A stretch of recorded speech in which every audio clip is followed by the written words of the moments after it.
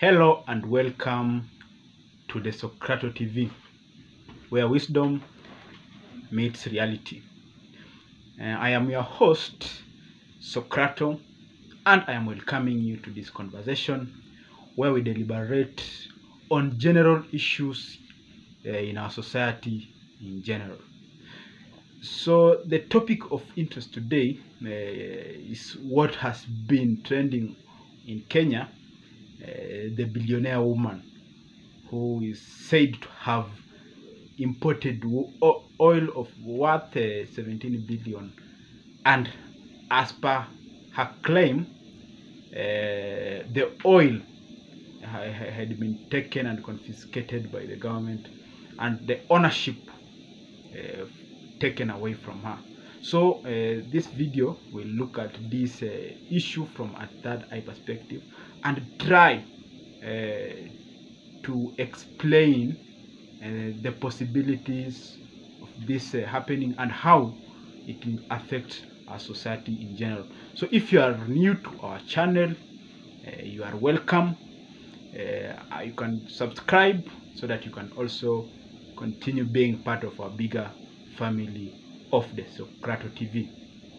So the woman uh, by the name uh, Anne Njeri Njoroge, as you can see on the screen, is said uh, to have imported oil worth 17 billion. So there are a number of people who are surprised uh, by this amount.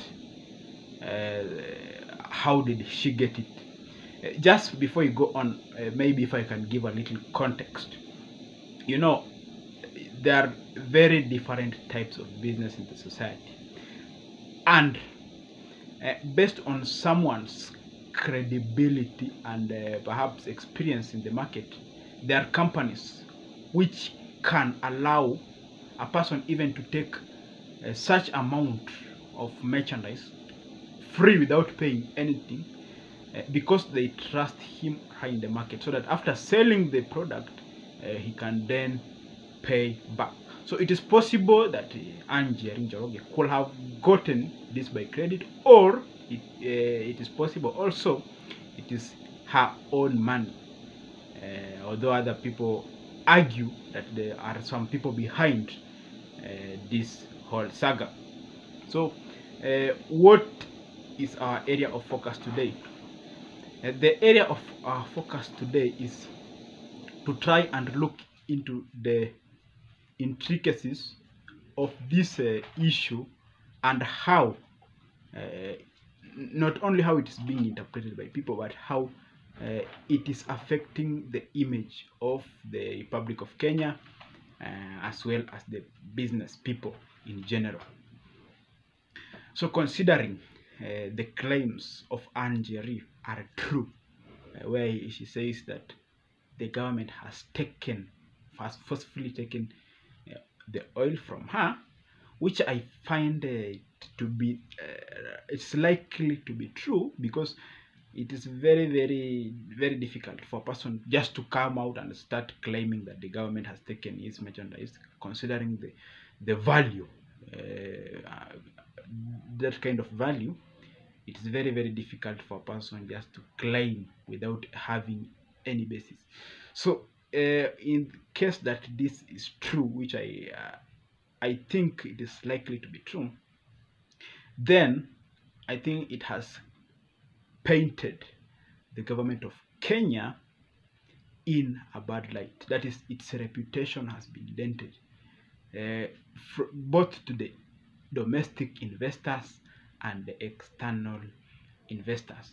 So, if a person, an investor who is not uh, yet to, uh, who is not yet uh, established in Kenya, was thinking of coming to the country, uh, like any other entrepreneur, the first thing they will try to check about how things are going in the country, how other entrepreneurs have been treated, and such stories will chase away investors. And that is why uh, we have had the president of Tanzania, that is Samia Suluhu, coming out and saying that he, she has been getting very many investors than ever before.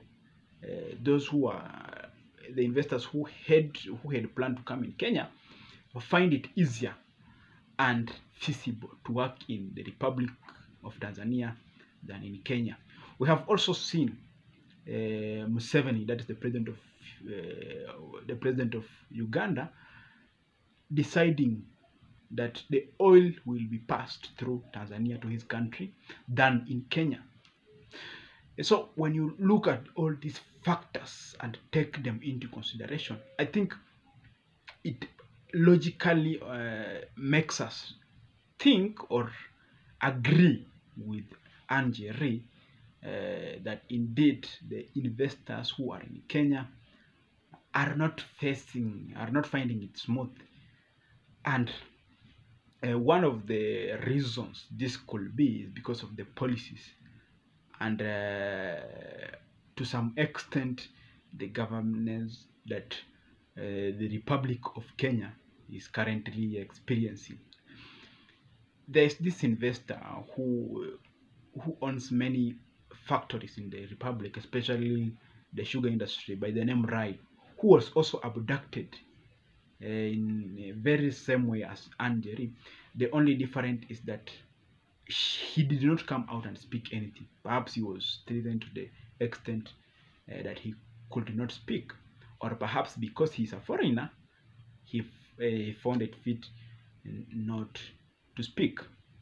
So this um, the the general conversation or um, my interpretation of this happening in the Republic of Kenya and taking the Njeri as a case is that uh, in terms of e economically, uh, the Republic of Kenya is not headed in the right tra trajectory. Even just looking at how the purchasing power of the shilling uh, is depreciating every day, uh, it uh, although people, although we understand that the, the whole world has been experiencing an economic crisis, uh, but when you look at when you compare for example kenya uganda and tanzania you find that in kenya the effect uh, seems uh, to be more than the other countries. Uh, and it could be because of a systemic problem or a problem deeper than what we could be seeing which needs to be addressed as soon as possible. And uh, even though I, I think uh, the government and the leadership in general are responsible for this, we should not at the moment or at this particular time focus on hitting uh, the government or maybe trying to find an alternative. We should first try and advise the, this, the government and the relevant uh, officials about how uh, they should run uh, the economy of a republic. That way, we will be adding some value to our country as well as the general economy. Because if you focus on changing the government, perhaps it will maybe even worse. Because what, how, how sure are you that by now taking over already dilapidated economy, you will change it. Even if today, assuming you are uh, the Azimio diehard, if today Raila Odinga took over this government, it will not change overnight. Although perhaps because he has been, he has good experience, he has good network connection, and also he has a good track record. It is more feasible if we work more on trying to make this government work than trying to put it down. Uh, so that by the year, that is the year of election, if we will have seen that the effort we are putting in by trying uh, to make them work, if that will not have borne fruits, uh, then that will be the time we kick out uh, this regime. I also do not subscribe to the idea that uh, perhaps if people who voted for this regime uh, now you are angry with them so that you also vote for the same regime so that you can punish them. And that is a very very childish ideology in the sense that uh, it's like uh, someone who did wrong to you as an individual. So instead of trying to help yourself and uh, get out of the mess uh, you go further and also do something wrong against yourself so, so that you can show the person uh, that what he did uh, did not make you happy. So i also do not subscribe to the idea of perhaps doing what another person did wrong way so that you can make the matters worse.